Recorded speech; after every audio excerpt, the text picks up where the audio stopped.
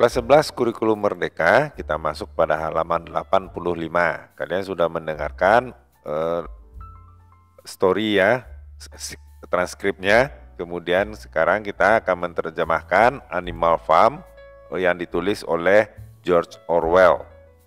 Nah, di sini suatu malam babi paling tua yang ada pada peternakan Manor bernama uh, Mayor Tua memanggil seluruh binatang di peternakan untuk sebuah pertemuan. Dia menggambarkan impiannya tentang dunia di mana seluruh binatang akan hidup bebas dari oke kejaman tuan manusia. Nah, jadi nomor satu tirani ya. Si, si mayor tua meninggal tidak lama setelah pertemuan, tetapi menginspirasi uh, filosofinya akan animalism, paham kebinatangan. Dua uh, babi yang lebih muda bernama Snowball dan Napoleon bertindak sebagai pemimpin. Ya. Napoleon dan Snowball memimpin para binatang di peternakan Manor untuk ber, e, memberontak dan mengusir Mr. Jones dari peternakan. Kemudian binatang, para binatang merubah nama man, e, peternakan Manor menjadi peternakan binatang.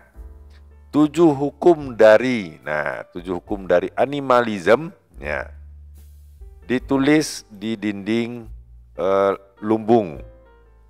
Snowball bertindak sebagai pemimpin, mencoba untuk membaca dan menulis. Kemudian, para babi segera meningkatkan posisi mereka sebagai pemimpin. Sementara itu, Napoleon mencoba untuk me mengambil uh, anak anjing ya dari peternakan anjing dan melatihnya secara pribadi.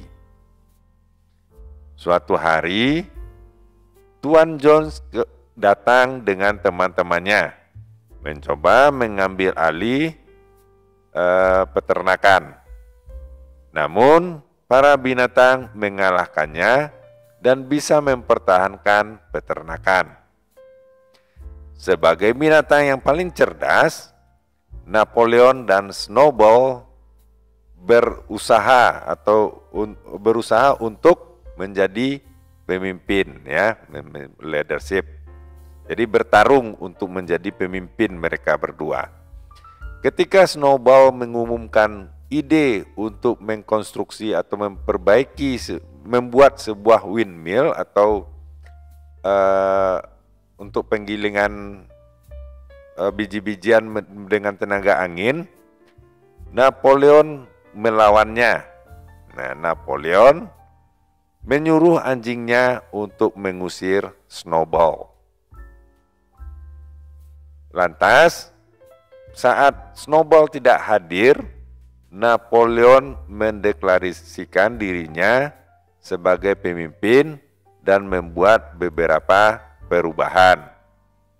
Dia menghapus seluruh pertemuan dan e, lebih membuat membuat sebuah komite dari babi untuk memerintah di peternakan.